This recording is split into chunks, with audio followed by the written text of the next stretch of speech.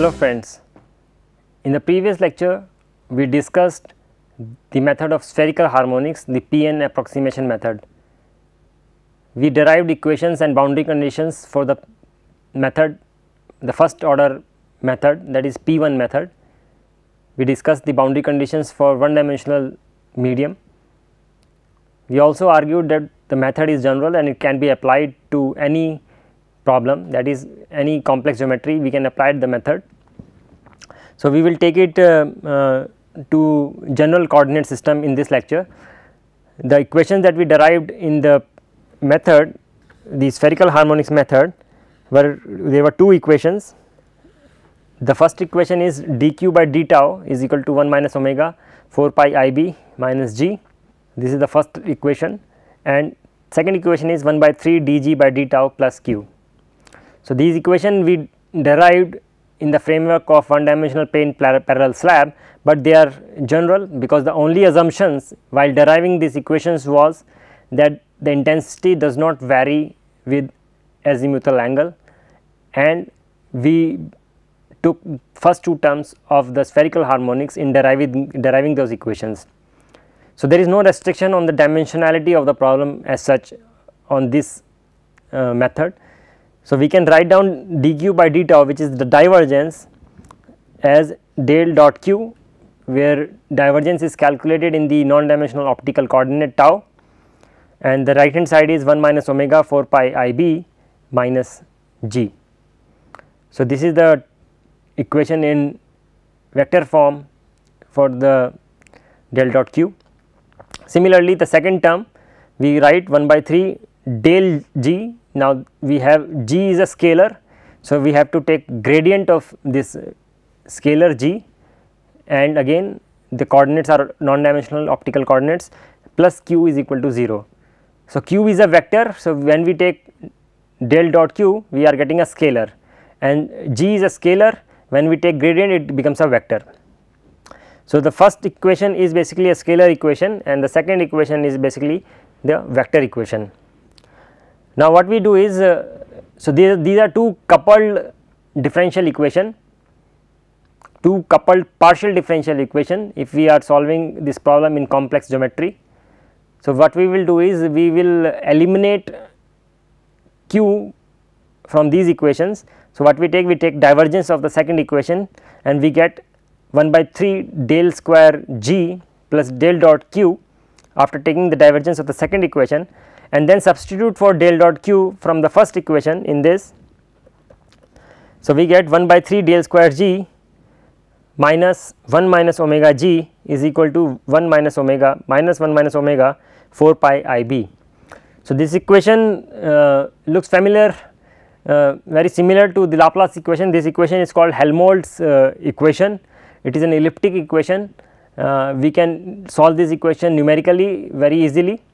The generalized boundary condition uh, for a gray surface in 3 dimension can be written as minus 2 minus epsilon upon epsilon where epsilon is the emittance of the surface 2 by 3 n dot gradient g where n dot is the vector at the local surface plus g is equal to 4 pi i b w. Okay. Now, this type of boundary condition is called boundary condition of mixed type or third kind. So, this is boundary condition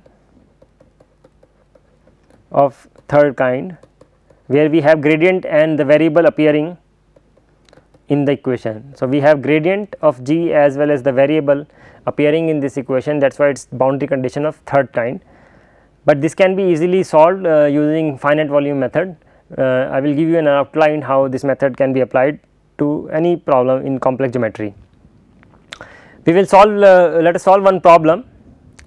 So, we have uh, a cylindrical medium two concentric cylinders of radius r1 and r2 maintained at isothermal temperatures T1 and T2. The medium inside the cylinder is gray and non scattering. So, we have to find out the heat flux between the two cylinders. So, we have cylinder 1, second cylinder this is the center, this cylinder is radius r1 and temperature is T1 and this is R2 temperature is T2. So, we have to find out how much heat flux is basically happening between these two cylinders. So, let us solve this problem. The governing equation we will uh, we have already derived. Okay so in vector form we will take this uh, equation. The first equation as we derived del dot q del dot q is equal to 1 minus omega. Now omega is 0 so non scattering medium. So 4 pi i b minus g. 4 pi i b minus g or simply 4 sigma t power 4 minus g. So, we have gray absorption coefficient kappa. So, we can just simply integrate and find out with the total values of q and g. So, the first equation reduces to del dot q is equal to 4 sigma t power 4 minus g and this is in optical coordinate. The second equation is 1 by 3 gradient of g plus q is equal to 0, 1 by 3 gradient of g plus q is equal to 0. So, these are the uh, two equation. Now, let us uh, uh, find out the solution of these equation. So, we have del dot q is equal to 4 sigma t power 4 minus g. Now, we are assuming uh, radiative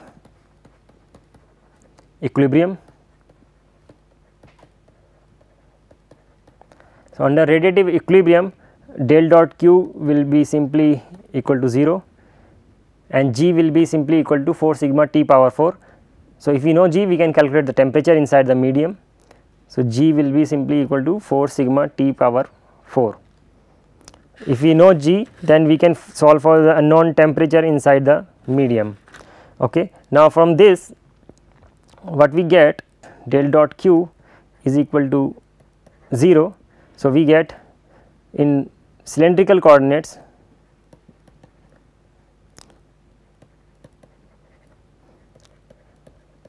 in cylindrical coordinates we can write down divergence operator as 1 by tau d by d tau tau times q and this will be equal to 0.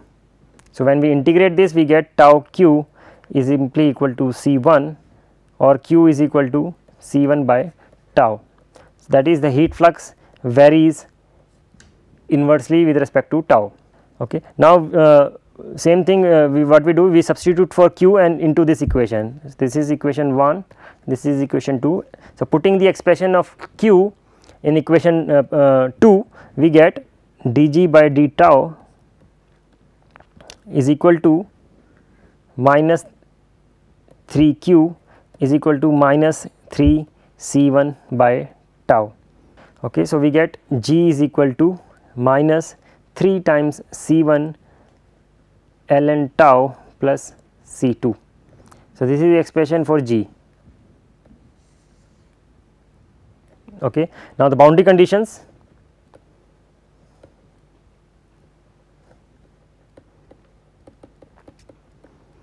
boundary condition we will take general uh, boundary condition as given by this equation epsilon is 1 because we have black cylinders.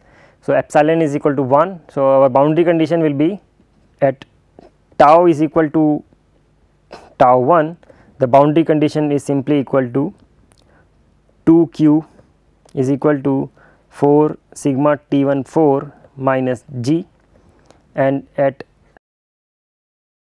tau is equal to tau 2 we have the boundary condition minus 2 q is equal to 4 sigma t 2 power 4 minus g. Okay. So, we have got two boundary conditions and two unknowns here C 1 and C 2. So, what we can do we can solve for this uh, uh, unknown C, uh, C 1 and C 2. So, C 1 comes out to be equal to 4 sigma T 1 power 4 minus T 2 power 4 subtracting the two boundary conditions will eliminate uh, the g and you can solve for this. So, you get C 1 is equal to 4 sigma T 1 power 4 minus T 2 power 4 upon 2 by tau 1 plus 2 by tau 2 plus 3 ln tau 2 by tau 1 this is the value of C 1 and C 2 is equal to 4 sigma T 2 power 4 plus C 1 2 by tau 2 plus 3 ln tau 2. So, this is the second uh, constant. So, C 1 and C 2 uh, so it seems they are mathematically complicated, but we can still uh, uh, we could solve this equation. So, we can define uh, non-dimensional heat flux as q upon sigma T 1 power 4 minus T 2 power 4. So, we have already calculated the expression for flux. So, Q flux is simply C 1 by tau. So, this will be simply equal to C 1 by tau.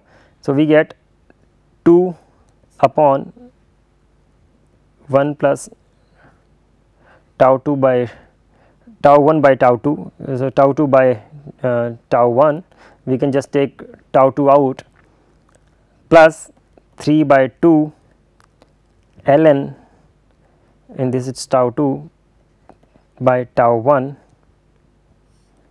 and this will be tau 2 common. So, tau okay. So, this is the heat flux non dimensional heat flux and similarly non dimensional temperature distribution or the uh, heat source term T 4 minus T 2 4 upon T 1 4 minus T 2 4 that is non dimensional emissive power of the medium or temperature power 4 is equal to 1 plus 3 by 2 tau 2 ln tau 2 by tau and this will be equal to 1 plus tau 2 by tau 1 plus 3 by 2 tau 2 ln tau 2 by tau 1 okay. So, uh, so this is how we have calculated the radiative heat flux non dimensional radiative heat flux and non dimensional uh, temperature power 4 or the emissive power for this concentric cylinders. Now, we will see that uh, for optically thick case the heat flux goes to uh, correct value, but for optically thin case the result is not accurate. So, for optically thin case optically thin case means we have uh, tau small kappa is small tau is small. So, our heat flux goes to for optically thin cases as 2 upon 1 plus R 1 by R 2. So, 2 upon 1 plus R 1 by R 2 while for optically thin case the correct value is psi is equal to 1 this is the exact value. Okay. So, we see that if R 1 is uh, if R 2 is uh, much much larger than uh, R 1 then this value will go to 2 psi will go to 2. So, this is not exact in fact the error is 100 percent while if the cylinders are almost the same dimension R 1 is equal to R 2 then it will go to correctly correct optically thin limit. So, if the gap between the these two cylinders is small it goes to optically thin limit correctly but if the gap is large then the error will be 100 percent for this P 1 method. So, P 1 method uh, although very popular, but it has its own limitation in optically thin medium and this is the result uh, plotted uh, uh for this case. What you see here is uh, the non-dimensional heat flux at the inner cylinder versus optically optical thickness and you see that under optically thick condition the P1 method P3 method goes to correct limit correct values while for optically thin case the error is large the P3 method is more accurate than the P1 method as is expected it retains more terms, but still the error is large uh, for optically thin cases. So, there is inherent limitation in the spherical harmonics method to calculate heat flux in optically thin cases. Now, how to implement this method in CFD codes? Uh, uh, so, as engineers we are know how to program or discretize the partial differential equations. This is elliptic type of partial differential equation we call it Helmholtz equation we can discretize this on any domain. I have taken this here a Cartesian system uh, on in a two dimensional uh, domain Cartesian mesh you can discretize it using central differencing scheme. So, the first term del square g in two dimensional can be discretized as in terms of the values i j, i plus 1 j, i minus 1 j, i j minus 1, i j plus 1. So, this is basically a stencil in terms of this stencil values we can discretize the Helmholtz equation which is elliptic and we can solve it using uh, techniques already developed for CFD for this type of equations. So, normally in uh, combustion applications the uh, uh many researchers have used and are uh, using the spherical harmonics method uh, along with the equations of momentum and energy but one should always keep in mind while calculating the heat flux radiative heat flux in such applications that the method has problems in optically thin cases and the heat flux calculated using this method in optically thin cases may not be accurate while for optically thick case the method is in good agreement with the exact results. In the next lecture we will discuss uh, another approximate method that is the discrete ordinate method to solve the radiative transfer equation. So, together with the method of spherical harmonics the discrete ordinate method is uh, one of the most popular methods available in uh, commercial CFD codes. So, we will study this method in the next lecture. Thank you.